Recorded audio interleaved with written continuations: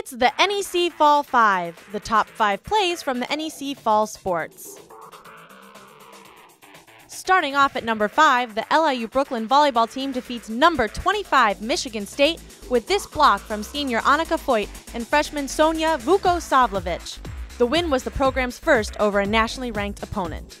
Coming in at number 4, Mount St. Mary's Emma Blair with the steal. Then she puts the ball into the back of the net to open up the scoring for the Mountaineers. There's a shot and it's good!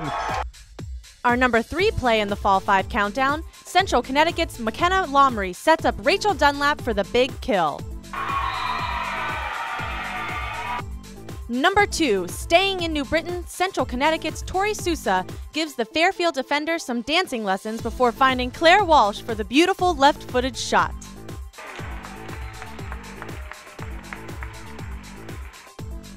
And our top play of the week goes to the UAID NEC Men's Soccer Rookie of the Week, Bryant Thomas Binder.